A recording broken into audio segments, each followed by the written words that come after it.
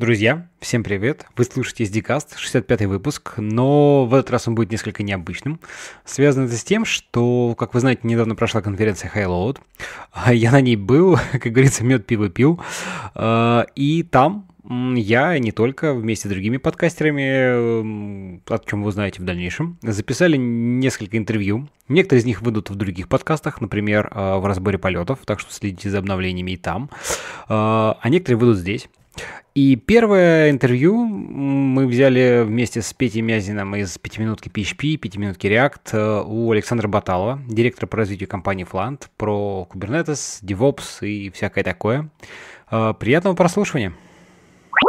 Друзья, привет! Вы слушаете очередное включение с Хайлода. Сейчас в студии нахожусь я, Костя Брукалев, он же КС Diamond, Петя Мезин. И с пятиминутки PHP. Да, и рядом с нами в гостях Александр Баталов из компании Flant. Саш, привет! Привет всем! Расскажи в двух словах про себя, чем вы занимаетесь и дальше. А, ну, мы компания Flant, мы уже 10 лет на рынке IT-услуг России, и уже теперь даже не только России. А, в целом начинали как а, Linux администраторы на аутсорс. Вот, но сейчас уже стали достаточно крупной компанией, нас 55 человек, занимаемся тем, что создаем отказоустойчивые а, инфраструктуры. А, это выглядит как обычно, что мы проектируем архитектуру, потом ее реализуем и поддерживаем. А, собственно, стараемся делать так, чтобы не ломалось, потому что чем надежнее инфраструктура, тем, а, довольнее наши клиенты, б, у нас меньше работы, соответственно, у нас гораздо эффективнее процессы и, собственно, эффективнее наш бизнес. Слушай, ну про инфраструктуру, в смысле, про отказоустойчивость именно и архитектуру именно с точки зрения инфраструктуры, то есть как все это обслуживать. Понятное дело, что как бы бизнес-логику там клиентских приложений вы навряд ли прям проектируете, да? Вы больше не проектируете вот платформу, как все это развернуть и чтобы оно жило и работало. Безусловно, да, но не бывает так, что мы ограничиваемся только инфраструктурой, потому что зачастую есть а, места пересечения, иногда приходится давать советы клиентам, как лучше а, исправить их приложение для того, чтобы оно правильно улеглось в правильную концепцию, да, указываем на ошибки, но в целом, как правило, да, эти какие-то изменения, они незначительные, и, ну, в общем-то, клиенты их легко делают, никаких проблем не возникает. Тут главное четко понимать, что нужно, для чего нужно и зачем мы это делаем. Угу. Теперь у меня есть пара конкретных технических вопросов к тебе. Вот э, моя аудитория, мои слушатели, PHP-разработчики. Мы деплоим приложение на какие-то сервера, может быть, уже виртуальные сервера, кто-то в Amazon, кто-то в DigitalOcean. С ростом нагрузки, наверное, количество серверов увеличивается, уже приходим к различным техникам распределенных серверных инфраструктур. И тут появляются такие интересные слова, модные, современные, докер и Kubernetes. Кому э, нужны эти технологии и в двух словах, что это такое? Потому что многие слышали эти слова, но особенно Kubernetes многие слышали, но вообще не представляют, зачем это и в каких случаях применимо. Слушайте, ну, как бы Kubernetes, тут надо, наверное, посмотреть, а, такую сделать ретроспективу, посмотреть вообще, откуда он взялся и для чего. А, его сделал Google, да, так скажем, как основной разработчик э, в опыт, вернее, тот опыт, который был в Гугле накоплен там за десятилетия, там, да, это порядка 15 лет, если не ошибаюсь, работы, они совершенствовали свои практики, смотрели, как же сделать так, чтобы это все было правильно, чтобы все хорошо управлялось, чтобы э, инфраструктура была понятная, логичная, да, собственно, они это все делали на собственном опыте, после этого, после того, как они это все обобщили, систематизировали, они предложили сообществу прекрасное решение э, для того, чтобы э, управлять инфраструктурами проектов, поэтому главная, главная цель всего этого – это управляемая контролируемая инфраструктура, потому что когда мы делаем там, ну, классический какой-то деплой там, да, на виртуалках и так далее, а, какие проблемы? Что, во-первых, все это управляется вручную, то есть мы всегда зависим от э, конкретного системного администратора. Вероятность там, того, что он сделает какую-то ошибку, либо там, ну, грубо говоря, то, что он считает правильным, на самом деле может оказаться неправильным или устаревшим, а, она всегда есть. Там, да? Второй момент, что при тиражируемости, то есть если у нас много виртуалок, там, да, большая распределенная инфраструктура, часто происходит такая история, что э, начинают распихивать какие-то компоненты не потому, как это правильно с точки зрения архитектуры сделать, да, а по принципу, где есть свободное место, туда и положили. Потом все это забыли, и в итоге инфраструктура превращается в такой запутанный комок, а, который потом просто в какой-то момент не понимаешь вообще, где, откуда ноги, что называется, растут, как все это распутывать, и люди просто заходят в тупик, плюют и говорят, так, надо все делать заново, надо как-то это распутывать. Слушай, ну можно, можно, знаешь, в таком, может быть, каком-то дилетантском уровне сравнить э, там Kubernetes, такие штуки, да, это как некий дальнейший виток развития и агрегации таких вещей, как гипервизор, который, ну, не гипервизор, а визор сервисов, да, супервизор, который прям вот локально следит за конкретным там инстансом запущенным, да, и плюс как некая система управления всем этим, ну, а-ля там Ansible, не знаю, шеф, папет, вот что-то, ну, я, может быть, говорю на таком дилетантском уровне, но примерно, чтобы просто, может быть, uh-huh. чуть-чуть лучше слушателям представлять. Ну, смотрите, на самом деле Kubernetes призван отвязать, э, так скажем, приложение от железа.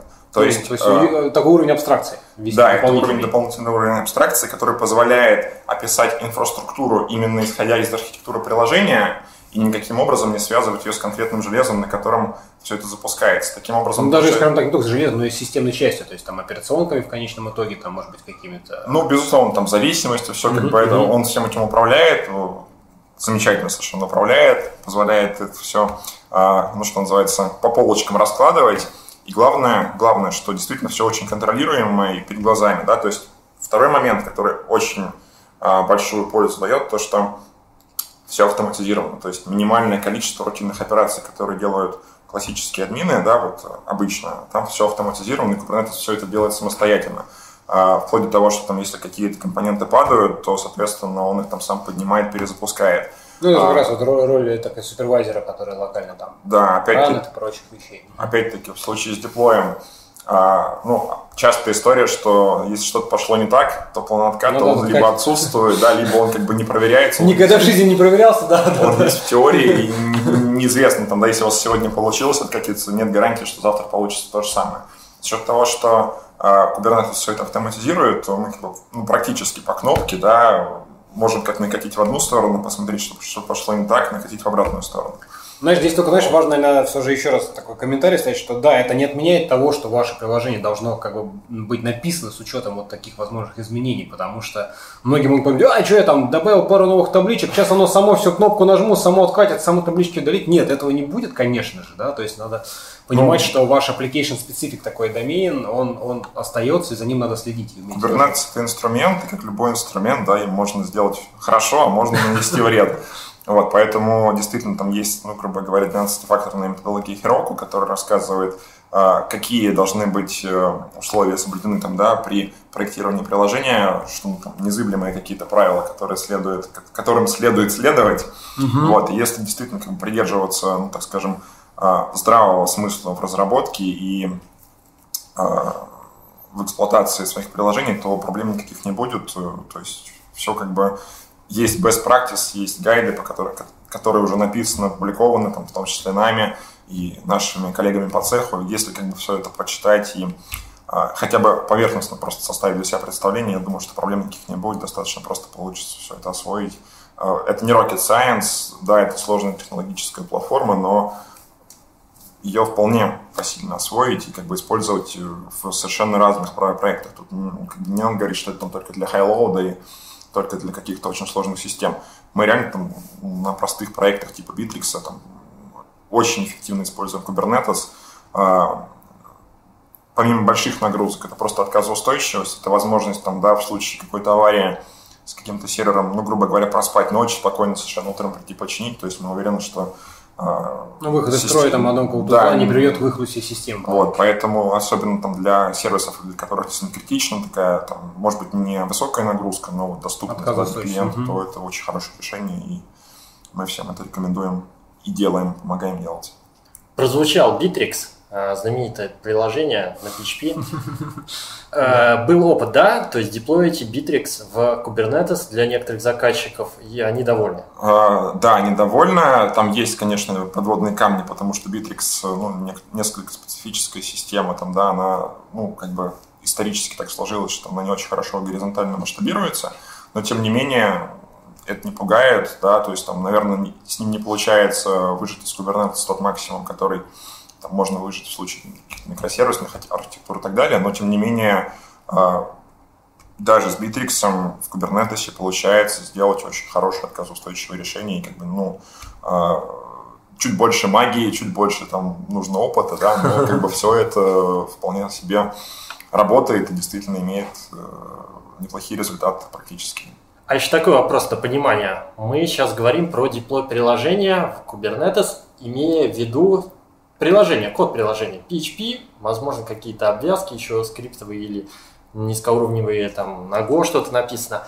Но мы не говорим про базу данных. База данных это отдельно или Ее можно деплоить. или мы можем и базу данных Kubernetes запихнуть и как-то даже и откатывать с помощью Kubernetes базу Ну, данных? Смотрите, с базами данных гораздо, конечно, всё посложнее обстоит. Почему? Потому что, ну, в первую очередь, если мы говорим про Kubernetes, если деплоить базу Kubernetes, то там мы упираемся в а, запись, да, то есть если мы говорим про классические базы данных, типа MySQL или Postgres, то самое узкое место это как бы вот за- запись в них, да, соответственно, за счет того, что Kubernetes мы разворачиваем, например, поверх цефа, а, да, это распределенное сетевое хранилище, то а, зачастую не хватает, а, ну, из-за того, что вот есть там промежуточные прослойки, да, скорости записи. Поэтому, если база действительно Но высоконагруженная... он все же не для его, короче говоря, да? А, да, вот, то мы просто делаем отдельные кластеры, да, которые там, ну, на- нативными, так скажем, нативные кластеры для вас,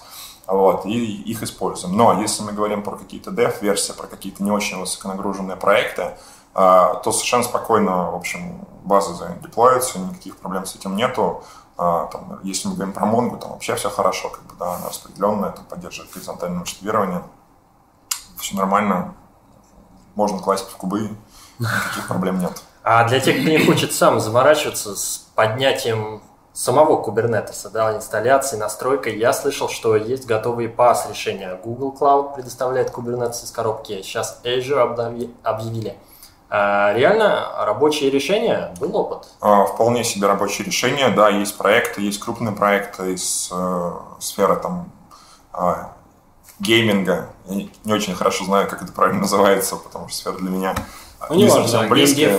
Да, но тем не менее все клево живет там вплоть до того, что в Kubernetes он понимает, там, да, когда у него заканчиваются ресурсы, может сам это заказать в облаке виртуалок, э, собственно, отмасштабироваться, вы просто сидите на стульчике, смотрите на метрики. Слушай, а чем расскажи, расскажи, вот, растет. э, такой интересный момент, как раз пока ты рассказывал, уже зрел, так сказать, вопрос технический, как, э, ну, немножко, может, таких технических деталей, как Kubernetes под капотом понимает, какие есть ресурсы, как, как он понимает, что, да, вот он где-то он упирается, я не знаю, то есть сколько там инстансов он может, там, на каком железе, ну, вот, как, как все это происходит Ну, у него. э, у него есть как бы конфигурацию, конфигурационные YAML файлы, да, в которых мы указываем, какого пода, в, каком, в каких количествах нужно. Соответственно, э, Под это под пул э, инстансов, э, пул, контейнеров, да, то есть, грубо говоря, это стручок, да, в котором как горошина, это вот... э, уже не лежащий, так сказать. Да, то есть Kubernetes на самом деле он не контейнерами управляет, а подами. А, вот, там, ну, каждый контейнер внутри пода, он, соответственно, там в каких-то количествах размножен. Вот, соответственно, как только он понимает, что там нагрузка вырастает там, выше какого-то предела, опять-таки, который мы можем задать, а, мы ему говорим, что, что делать в таком случае. Там, ну, сначала как бы там может просто нарастить количество подов, если понимает, что поды не умещаются в имеющуюся размер инфраструктуры, там, да, которая на сегодняшний там, момент а, в доступе, да, то, соответственно, можно просто дозаказать, ну, либо это в ручном режиме делается, либо это автоматически делается, там, в Ну, случае с какие-то облаками. да. Вот, да, соответственно, он заказывает виртуальных машин, там, ну, в случае э, с облаками, и, собственно, сам масштабируется, на них разворачивается. А ресурсы, ресурсы он мониторит это условно там потребление памяти, CPU, его сеть, да, ну, то есть какие-то базовые. Либо он умеет прям совсем какие-то специфичные вещи, можно ему Ну, настраивать. Э, Для того, чтобы э, заказывать э, там, новые тачки, у него, грубо говоря, там есть, э, да, он достаточно базовых метрик, но, в принципе, есть система мон- мониторинга Prometheus, которая собирает э, ну, все метрики по работе кластера, там красивые дашборды, э, на которых все видно и очень удобно контролируется. Плюс ко всему мы еще сделали э, сбор логов из кластера Kubernetes. Наша, собственно, разработка, продукт называется Loghouse. А, Он собирает, собственно, из всего кластера логи, кладет их в ClickHouse. Ну, это, система, Loghouse, да. ClickHouse, да-да-да. Ну, собственно, потому и сделано, что по большому счету мы ничего не разрабатывали, мы просто за счет интеграции уже готовых решений сделали очень крутую штуку, которая там... Раньше мы пользовались эластиком, но с эластиком большие проблемы по производительности, потому что он очень требовательный к ресурсам вычислительным, да, плюс ко всему у него нестабильные кластеры, то есть там, мы в своей эксплуатации регулярно наталкивались на какие-то проблемы. Вот, чтобы как бы уйти из этой проблемы, э, мы решили попробовать ClickHouse. Ну, кстати, расскажи, расскажи про потому что сейчас как бы ClickHouse такой на слуху, и, ну, у меня даже в Издикасте был один из, так сказать, э, членов команды, да, Мгм. ClickHouse рассказывал про все это дело. Вот. Но, тем не менее, вот твой уже такой, как бы, ваш боевой опыт, насколько она действительно хороша или плоха? Ну, нам нравится, вот, пока про какой-то там серьезный, большой, ма- массовый опыт мы, вряд ли можем говорить, потому что мы только неделю назад вышли в альфа-версию, но, тем не менее, там во всех своих внутренних проектах мы это используем. А, ну, понятно, что там, так как это альфа, там возникают некоторые моменты, ну, которые приходится решать и недочеты, но в целом, в целом мы очень довольны, кликхаусом очень довольны, то есть прям клево работает, э, сильно меньше потребляет мощностей, ну, соответственно, там для многих наших клиентов это существенно, потому что, ну, платить дополнительные деньги там, да, за то, что у тебя собираются правильные логи там, за эластик, за, за железо, да? Ну, жалко, жалко. Логи это как бы, понятно, что для конечного там бизнес, бизнеса, ну, что такое логи, ребята? Я за них еще должен вам денег отваливать. Ну, как-то А для нас, как для технарей, А, да, это вам наоборот это ключевая важно. метрика. Да, вот. да, я понимаю. Поэтому искали решение, которое позволит наши потребности удовлетворить для клиента, как бы сделать э, очень доступным э, эту возможность. Вот. Поэтому в целом отзывы очень положительные о ClickHouse и опыте его эксплуатации. Классно. Подытожим, значит, э, Kubernetes не только для супер highload больших проектов, но и для среднего размера, когда вы хотите надежности, отказоустойчивости.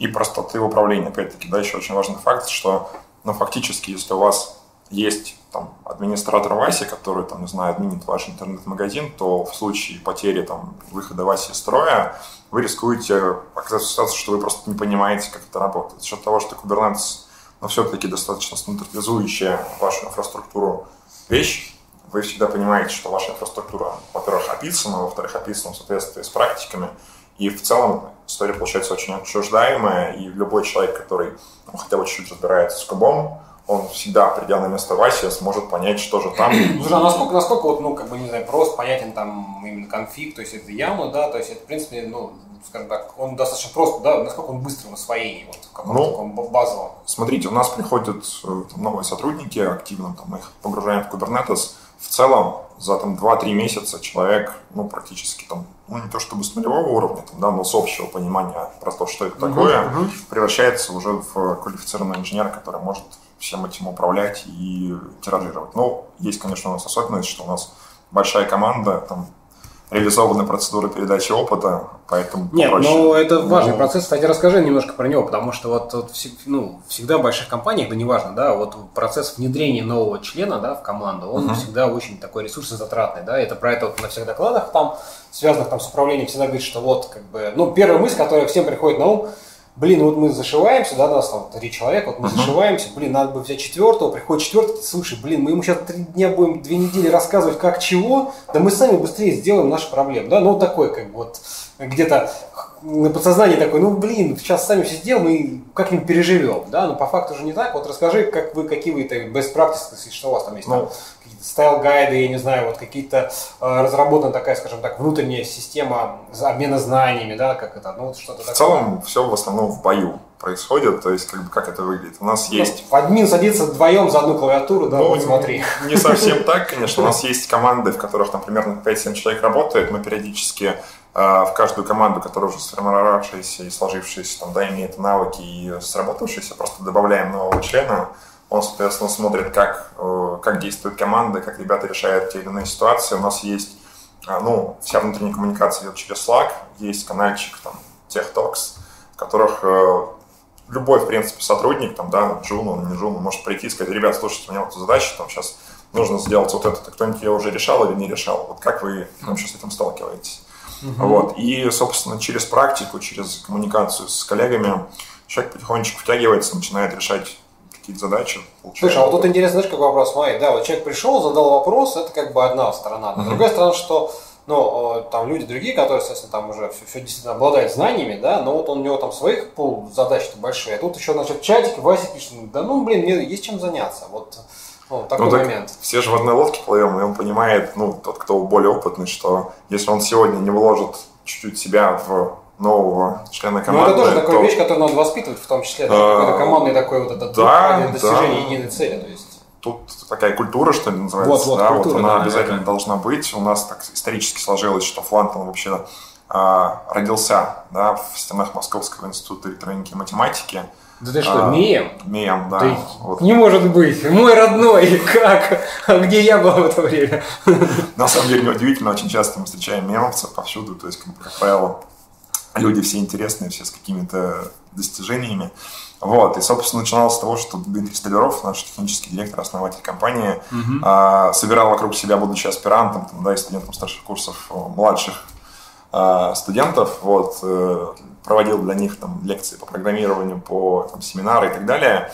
Вот, было сразу понятно, кто из Ну да, всегда есть и, кто проявляет вот, интерес, глаза горят. да. а, Эта история как бы именно с обучением, она тянется оттуда, и, в общем-то, те практики, которые применялись в 2008 году, они, в общем-то, часто работают точно так же, просто уже чуть на другом уровне, более отлаженные, более успешные, вот, более эффективные. Слушай, ну классно. Чего? Спасибо тебе за интервью. Было очень интересно. Надеюсь, нашим слушателям тоже. Ну, Что надеюсь, да, изучайте Kubernetes, рвитесь в DevOps, все получится, ничего сложного нет. Спасибо И вам. процветайте. Да, гипноте в Kubernetes и процветайте.